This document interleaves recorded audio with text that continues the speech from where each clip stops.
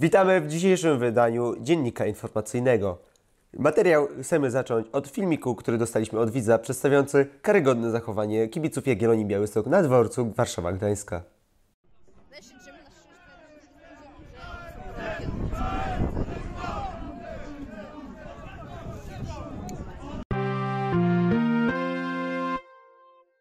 Pod koniec zeszłego tygodnia Sejm przegłosował ustawę na temat podatku od konsumpcji węgla. Przypominamy, że według danych statystycznych GUS-u za zeszły rok węgiel konsumuje 250 tysięcy mieszkańców Górnego Śląska. Na ten moment protesty zostały zapowiedziane w Zabrzu, Katowicach, Rybniku czy Bytomiu.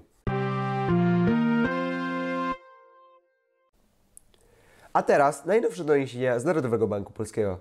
Jak podaje Adam Glapiński w wywiadzie, inflacja będzie się utrzymywać na poziomie 6, może 9 powiedzmy, a wzrost będzie 2, ponad 2, może 1,5. Zależy czy tarcza będzie, czy też jej nie będzie. Jak będzie, to będzie inflacja na poziomie 9, 6 pod koniec roku, a jak nie będzie, to może 12, może nie. Niepokojące doniesienia z Rawy Mazowieckiej. Agresywni kibice po przegraniu przez ich klub Unię Skierniewice 15 do 0 z lokalnym klubem zdewastowali rynek, kawiarnię i zamek w Rawie Mazowieckiej. Ostała się tylko jedna baszta. A teraz czas na materiał na temat wykluczenia komunikacyjnego miasta Wąbrzeźno. Dzień dobry, z tej strony Wierzybus Szczepański. Witam Państwa z Wąbrzeźna. Jesteśmy aktualnie na rynku i dzisiaj porozmawiamy z mieszkańcami o wykluczeniu komunikacyjnym tego miasta. O, dzie... Dzień dobry Panu, ma Pan chwilkę? Mam byle szybko. Dobrze. E, Co Pan sądzi o wykluczeniu komunikacyjnym Wąbrzeźna? Istnieje, nie, nie opuściłem jak pan wie. My, jak polana karna. Wiedziesz, nie wiedziesz. Jak, myśli, jak Pan uważa, co można by było zrobić, żeby poprawić te stare rzeczy? Lotnisko. Lotnisko to jest rozwiązanie, proszę pana. I ja wiem, że się śmieję, ale to nie jest zabawne. Chodzi o to, widzi pan, kolej? Po co komu kolej? Samoloty to jest przyszłość. Najlepiej do Dubaju. Jedyne miejsce, którego możemy powiedzieć to Dubaj. Po co komu Warszawa, Poznań, można mieć Dubaj. Hmm, jest to ciekawy punkt widzenia. A gdyby jednak nie udało się tego lotniska postawić i musiałby pan jednak wybrać infrastrukturę kolejową, jak pan chciałby to rozwiązać? Dokąd połączenia dla pana Obawiam się, że nawet? pociąg do Dubaju byłby niemożliwy zrealizowania, tylko wolałbym, aby wykluczenie komunikacyjne w Wąbrzeźnie dalej pozostało faktem. Dobrze, dziękuję panu za ten krótki wywiad. Jak państwo widzą, wykluczenie komunikacyjne jest bardzo skomplikowanym tematem, który nie da się tak prosto wytłumaczyć. I jest wiele punktów widzenia na ten temat. I tak, jest to bardzo trudne i ciężkie i trzeba postawić lotnisko w Wąbrzeźnie. Wczoraj wieczorem o godzinie 18.46 oficjalnie doszło do zamknięcia dziury czasoprzestrzennej w Otwocku. Jest to obiekt niezwykle uznawany naukowo, ponieważ pomógł w pracy takim naukowcom jak Albert Einstein czy Krzysztof Kononowicz. Niestety, przy zamykaniu dziury nie nastąpiło uszkodzenie Otwocka. W poniedziałek wieczorem doszło do ustawki między fanami dra- draży marynarzy i draży korsarzy. Zwolenników draży marynarzy było więcej i pokonali oficjalnie draży korsarzy. ONZ większością głosów zatwierdził, że draże marynarzy są jedynymi słusznymi drażami. Na ustawkę przyszedł też jeden zwolennik draży księżniczek. Nie został dopuszczany do bijatyki. Ostatnio w sieci pojawiły się nieprawdziwe informacje, jakoby prezydent Andrzej Duda został oszukany na 12 emeraldów przez Donalda Tuska. Jest to nieprawidłowa informacja, ponieważ nie było dowodu transakcji na kilof z, cytuję, Dąbu Bartek, którą zaproponował pan Donald Tusk Andrzejowi Dudzie w grze Minecraft. Jest to nieprawidłowe i Donald Tusk został postawiony w stan oskarżenia przez Sąd Najwyższy oraz ma problemy z prokuraturą. Policja ogłosiła poszukiwania znanego zbrodniarza Jerza. Więc ktokolwiek wie, dokąd docą tupta Jerz, proszone jest o zgłoszenie się do Głównej Komendy Policji w sprawie wyjaśnienia sprawy.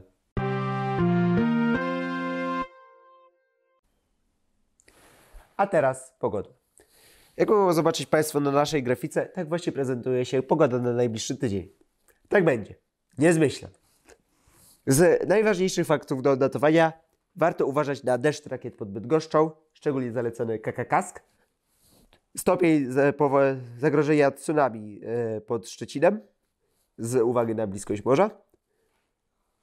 E, Zagrożenie udurzenia się smogiem w Krakowie oraz wystąpienie błota z bagien w Gdańsku.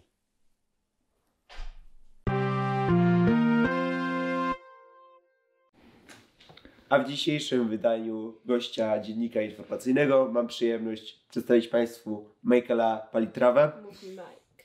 Dobrze, Mike?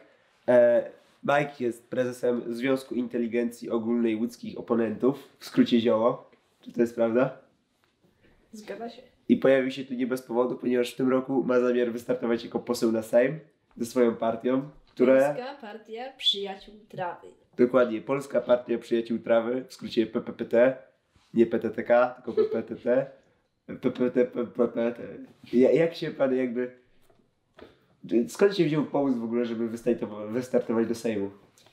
Widzi pan, w naszym kraju jest jeden poważny problem.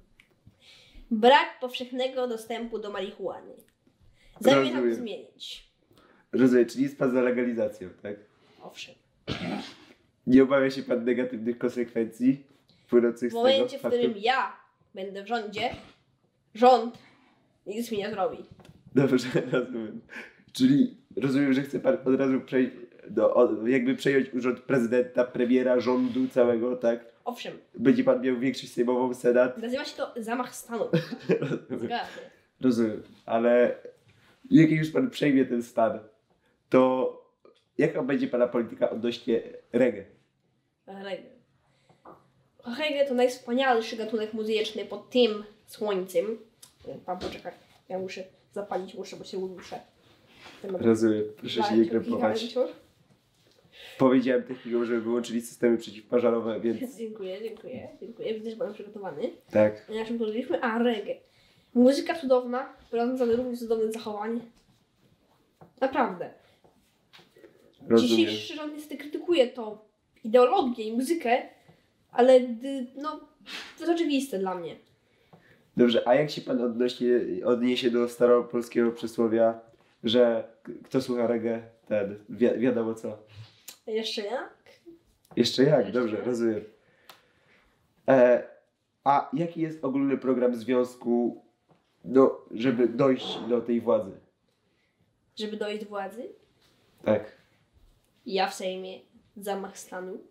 Rozumiem, czyli Ładnie, wejdzie pan w koni, na koniu pan wiedzie, tak, przynajmniej tak będzie się panu wydawało. Tak, dokładnie. Dobrze, dziękuję.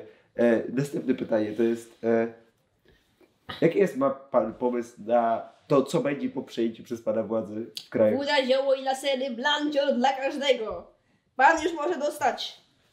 Preorder.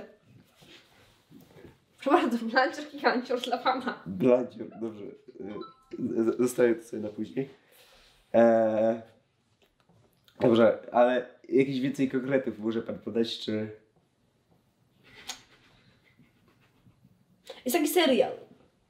Występuje tam postać takiego admirała Jachasia. Rozumiem. Mówi on, że będzie. U mnie będzie lepiej. Rozumiem, rozumiem. Czyli rozumiem, że wzoruje się pan na popkulturowym dziele. Ale będzie lepiej. Będzie lepiej, rozumiem. E, czyli rozumiem, mam tu kolejne pytanie, co pana inspiruje, ale chyba jest to zrozumiałe w tym momencie, jak już pan udzielił odpowiedzi na poprzednie się. pytanie. pytanie. Ale może chce, chciałby pan coś dorzucić, bo często tacy wielcy przewódcy mają więcej niż jedno źródło inspiracji. Obawiam się, że nie. Dobrze, rozumiem. Ale skąd ten pomysł, żeby akurat w taki sposób przeorganizować nasz kraj? Widzi pan. Nikt zdrowy na umyśle na mnie nie zagłosuje. No właśnie, jest to jest jeden. problem.